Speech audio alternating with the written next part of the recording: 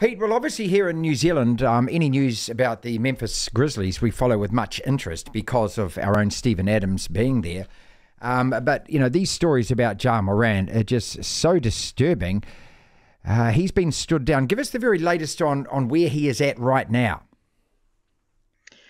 Well, uh, our understanding is we know that he's going to be away from the team for at least two games, one of which was uh, uh on Sunday against Los Angeles Clippers.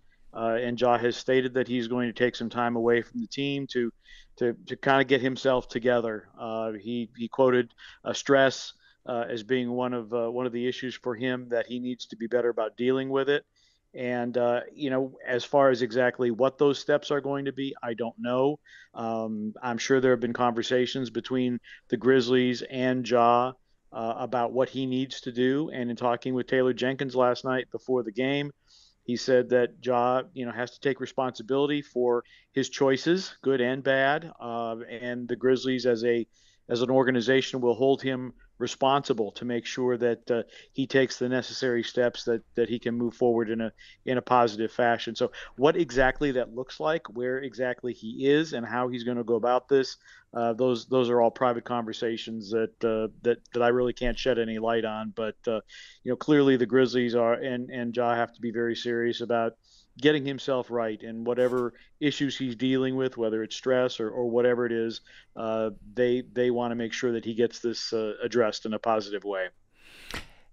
Is is is anyone talking about this supposed crew of wannabe gangsters that he hangs around with? Because look, looking at it from as far away as we are, there's a certain patheticness to it. You know, you've got a guy that's worth hundreds of millions of dollars who's got a life that you know everyone thinks, my God, I wish I was you and you're waving a handgun around in nightclubs and you're getting into fights and you're wielding a gun. I mean, what? I, I, I, mean, it's just difficult for us here in New Zealand where we don't we don't have this proliferation of guns to even think why the hell would a guy like that get involved in stuff like this? Yeah, that's a it's a very good question, and one of the challenges, and I've been around the NBA for 30 years. One of the challenges for players is that uh, who do you surround yourself with? Um, you know, I, I knew Zach Randolph when he was drafted by the Portland Trailblazers, and uh, he had some some folks around him that uh, that were not good influences on him, and and through the years he was able to to figure out who uh, should be in his inner circle and who should not be in his inner circle, and I, I think that Ja's probably at at that point right now where you you know you're just trying to when when you are as wealthy and as popular as he is, everybody wants a piece of your time in some way, shape, or form. Uh, and and maintaining your inner circle and maintaining good people in your inner circle is is a challenge for a lot of professional athletes. And um, it's something Ja is definitely going to have to address. I think, you know, the people with whom he associates, he's going to have to be very, very careful uh, about who he allows into his inner circle and and their behavior as well. Um, look, it's it's and this isn't new, is it? We see a lot of uh, you know a lot of it around the the NFL as well. Um, what is the NBA's response to this? How seriously do they take it? Because this is not just a guy getting into a fight or anything. This is a guy waving a, a loaded gun, and with what the you know the horror that happens in your country with the massacres that take place and the, the you know the in the, in the general anti-reaction about gun crime. I should imagine that they will be looking at this and thinking we've got to take some action here ourselves.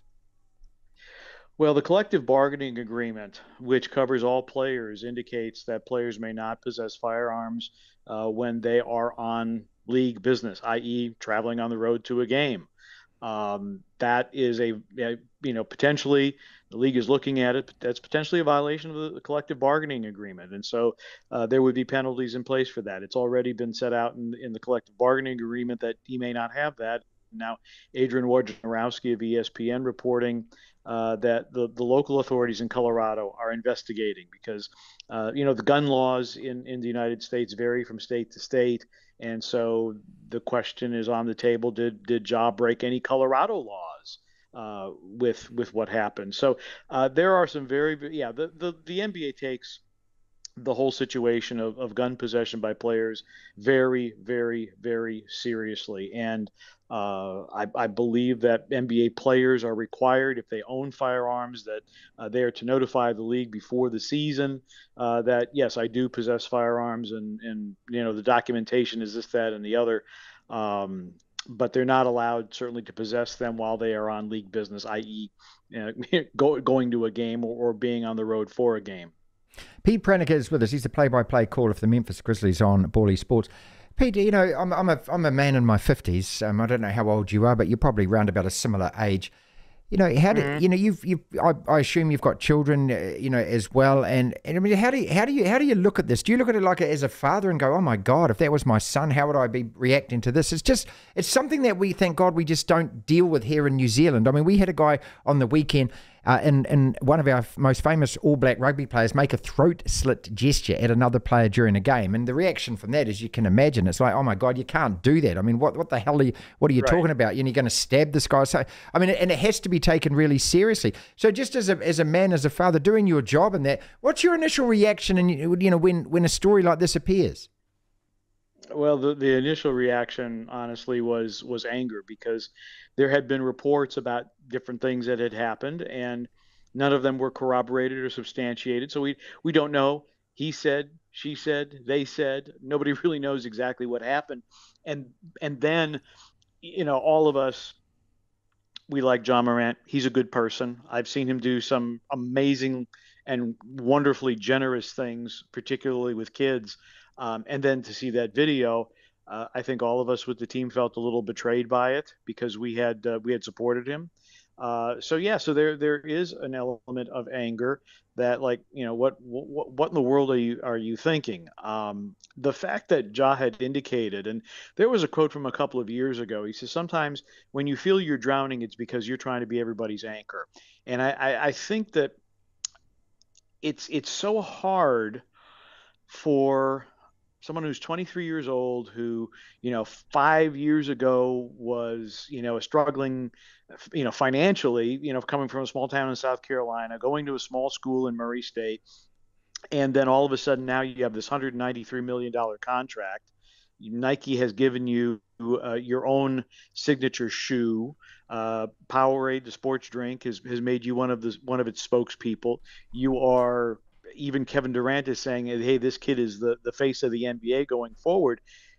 That's a lot for even the most well-adjusted person to deal with. And if Ja is having issues with how he processes stress and and, and other things in his life, um, it's it, it's just exacerbated. I mean, you know, the the prevalence of mental illness, I don't know how it is in New Zealand, but the prevalence of mental illness and depression, anxiety in the United States is, is, is rather high. And then when you add in all the, you know, and many people who suffer from from some type of, of mental illness do it do it privately. They, and and they're not in the public eye the way Ja Morant is. And if he's dealing with with stress issues, if he's dealing with emotional issues, whatever it is, uh, you know, you're doing it in the public public eye, which is um, which is very very difficult to do I think all of us with the Grizzlies, we, we want what's we, we want Ja to get whatever help he needs to heal in whatever way he need, needs to heal, so that the behavior that we saw on Instagram Live does not recur. Pete, just a couple more questions. We thank you so much for your time, mate, here on the platform in New Zealand. I mean, a couple of names. Johnny Football threw his life, his career away down the toilet. Plaxico catches a, a winning touchdown in a Super Bowl, then goes and shoots his foot off in a nightclub. I mean, there's been plenty of examples, haven't there? I mean, the Darryl Strawberries are so far. I mean, we know there's been so many. I, I suppose you can't draw parallels with it. My question though is when he comes back and plays on the court, I mean, are you going to get a whole lot of you know opposition fans every time he gets the ball yelling "shoot, shoot"? I mean, I can just see that kind of stuff happening. You know? Uh, yeah. I mean, that's you know, unfortunately, that's that's the way. You know, there's a reason that fan is short for fanatic. Mm. Um, and I, yeah, there, there, there's, there's certainly that's, that's going to be a, a part of it, unfortunately. Um, you know, but again, Ja has to take responsibility for his actions. You know, he, he did it. And with the visual evidence is there for everybody to see. And uh, so that's, that's going to have to be part of it. And he's going to have to deal with, some things the way I'm sure people catcalled Tiger Woods after yeah, yeah. Uh, his his indiscretion. So uh, that that's that's going to be part of it, and uh, and I think what I hope anyway is that by Ja getting help at this point in his life, that he avoids Plaxico Burress and Johnny Manziel territory, that he is going to do this now, and that uh, you know, maybe the silver lining of this very unfortunate incident is that it prompts him to get help sooner rather than these incidents just kind of parading on and on and on. And things get get to a very bad place. Can I just ask one selfish question at the end of this? Such a glorious team to watch. As I said right at the beginning, with Steven Adams playing, I mean, a lot of attention on the Grizzlies here.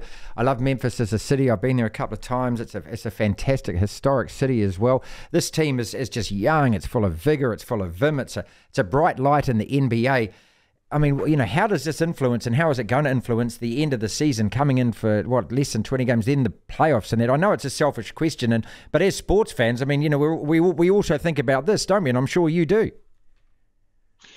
Yeah, I mean, you're there, there's a big question mark hanging over this team because you don't know when he's going to come back. How long will this process take, uh, where he can get some resolution in his, his personal life? And and so yeah we we approach this whole situation with this big question mark and we're hoping that one question mark gets resolved if not in the next game against the Lakers maybe a game after that uh, because Steven Adams his absence particularly against the Clippers was was profound. Uh, the Grizzlies just could. I mean, two offensive rebounds for one of the best offensive rebounding teams in the league is is unheard of, and and certainly the Grizzlies need Steven Adams back. There is you know, some looking at the standings and what does this mean for the team long term. But right now, everybody is most concerned with Ja getting the help that he needs to get himself to a, a good place where, again, these incidents, these situations uh, become a thing of the past and, and not something in his future. So, yeah, we're, we're, I, you know, and you are of two minds here because you are looking at the games, you are looking at the results, you are looking at the playoffs looming. But on the other hand, we're, we're talking about somebody's life here uh, and his his livelihood and his mental health and and everything and and and that ultimately is is the most important thing for Ja Morant is for himself to get right. It's more important that he gets right than he returns too quickly and you know just so the Grizzlies can win some games. I think that's that's the perspective that everybody's trying to have. And uh, thank you for the kind words about Memphis. I've I've been to New Zealand. Um, I visited Christchurch and and some other areas uh, in New Zealand, and I hope hope hope I can come back someday.